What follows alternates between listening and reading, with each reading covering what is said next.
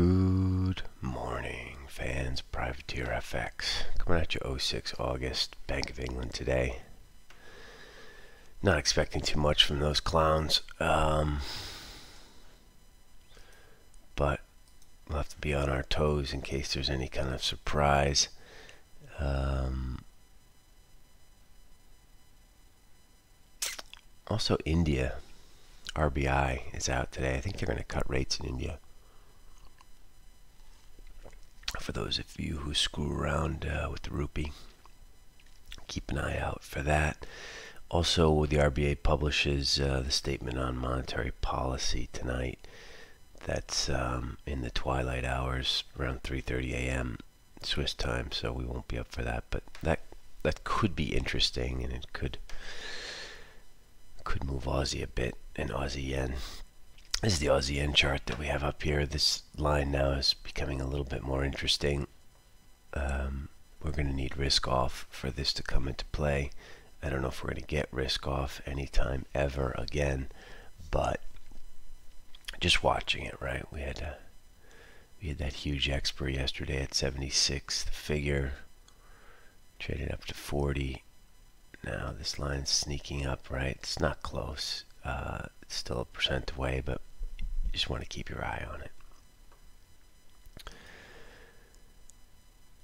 Euro, interesting little uh, little blip up there to 05 yesterday. This sort of looks like it's going to break higher today. 09 was the first high um, on 31 July. 05 yesterday. We're at the highs now. Very, very muted range in Asia, basically 60.85. So we're not super excited about any of this, but watching this, there might be some money to made to be made uh, as we're making new highs. Just more on a tactical trade, sort of hit and run type stuff um, for euro. Cable, obviously, um, Bank of England today no one's really expecting any policy changes. Uh, they're looking for unanimous votes to leave the rate and uh, the amount of QE or the purchase target. All of this should be left the same, but you got to be on your toes anyway and watch. It's the same chart as uh, Euro. Last night we printed the 62 high, uh, 31st we had 71. So just like Euro printed 05 versus the 09, this printed 62 versus the 71. Both of these look like they want higher, um, but again, it's just sort of a tactical trade. I don't think this is going to start screaming, um, screaming higher. Dollar Swiss, um,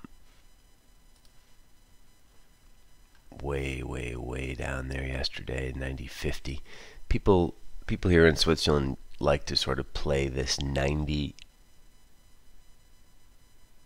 90 area as a range base. Uh, so I do expect to see some some demand from the locals here. Um, but in general, I don't really see how dollar Swiss can go higher. Uh, if we do turn risk off, dollar Swiss will go lower.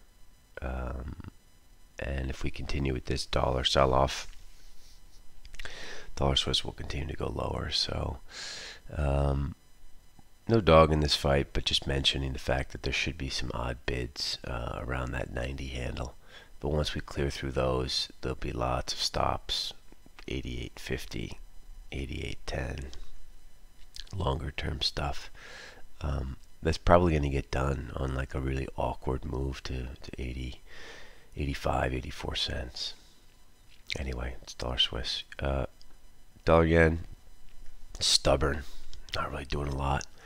Uh, traded down to, I don't know what we get down to 34 yesterday. Now it's kind of pivoty down there at 30. No juice, dollar yen. No uh, no real juice. Volatility has been really reduced, and to be fair, it seems to be going up better than it's going down, and that has a lot to do with cross yen, which was bid. As you can see, this is the dailies. Euro yen has had this little 600 point jag here since June, and still looks like she wants more. Um, insatiable. Sterling yen also less so than than euro yen, but we're coming up to these highs here, 139.75. That's a very important high before we get to the first real resistances, which is up at 141. Sterling yen could could move a little bit, just from a chart perspective, a little catch up with euro yen. Dollar ZAR. Um, this is the horse we like to ride. Uh, Got to be long dollar ZAR interesting uh, triple top up here at 53. You just want to try and own um, or put on structures while we're down here between, say, 50 and the figure. We do think um, this is going to blow up quite badly. We saw Turkey, the beginnings of the Turkey blow up yesterday as we as we plowed through seven dollar turkeys now at 705. Um, the hapless CBRT is just running out of running out of juice, running out of running out of bullets. You can't just put rates to a thousand percent randomly every night and hope that speculators um, go away. It just doesn't work. Um, they're surely running out of dollars to sell. Uh, so dollar turkey and dollar ZAR are looking um, pretty fragile. Uh, and then you throw in COVID, and then you throw in um, just the outsized foreign, the need for foreign money. And if you're a foreigner, are you going to be rushing to invest into South Africa right now? Are you going to be rushing to invest into Turkey right now? I would argue um, you are not.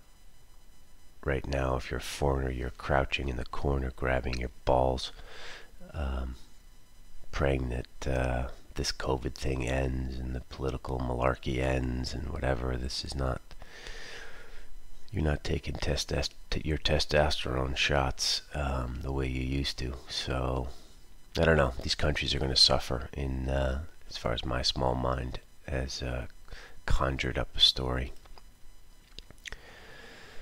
Aussie, it's bid. Tried to turn yesterday. We kind of made like a false dawn there above the 29 highs, but still bid. This is the same line as the Aussie yen line. Um, I would argue this is where the, the, the money is going to be made when this turns. Um, Aussie yen, Aussie Kiwi. But we need risk off for that, and we do not have risk off. 3320 is, is equities. Dollar CAD, as we talked about yesterday, is just a sell on rally. This has further to go, although crude dropped 2% at the end of the day yesterday, up from the 43.50 highs. Um, dollar CAD still offered. Equities. No left hand side action at all yesterday. None. Uh, just every time it goes left, came right back up. Terrible ADP. 10 given, 20 paid. But effectively, it's not really doing anything here.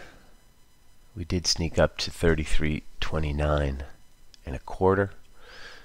There are people named Privateer FX who are waiting up here between say 33 and 43 to uh, jump on the short boat. But we're just being patient now, see how it goes. Um, this is trying to decide. I don't know what's going to drive it. Is it going to be non-farms? I don't know. Non-farms doesn't really mean much anymore. I guess we're just waiting for this stimulus package uh, to come through. Uh, how big it's going to be, and and so we're waiting, waiting in S and P's. Um, you got to start throwing up these this 10-year chart. Red day yesterday after getting very, very close to um, all-time low yields. This is going to turn, and it might turn sooner rather than later. I don't know.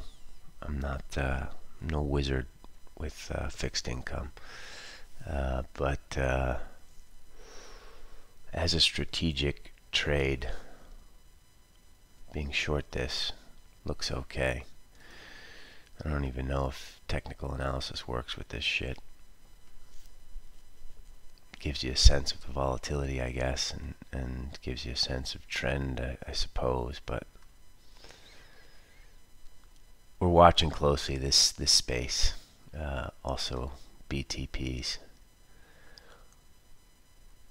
wherever the hell they are. BTPs are yielding right around 1%. Um, getting ready to sell BTPs. Here we go. Oddly similar chart from yesterday. Printed that Zippo 147.96.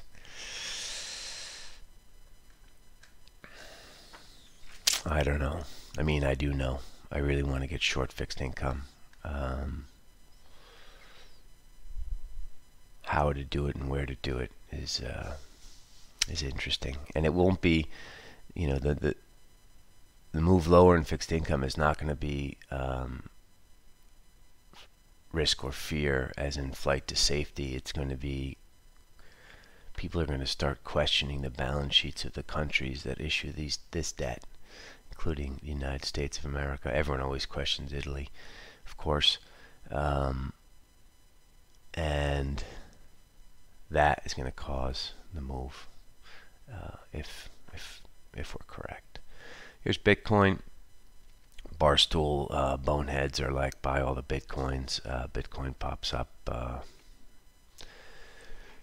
we like Bitcoin higher as well, just like those boneheads. I guess these boneheads we like it higher as well. Um, dollar cost averaging, technical analysis is not very useful in, in Bitcoin. Um, just buy some Bitcoin. Keep it light. You know, this is if you're a if you're a currency person, this is your Tesla. Um, so just own some Bitcoin. All right, I'm talking too much now. 12 minutes. There's not a lot going on today. Patience is the uh, key metric. Trying to find ways to uh, help averages for long dollar ZAR. Um, watching 1753 in case something happens with equities. And then we're watching these sort of trend lines in Aussie and Aussie yen. But it's going to be pretty quiet in Europe. Um, Bank of England later. With that, I bid you adieu. Have a good trading day, and I will talk to you tomorrow.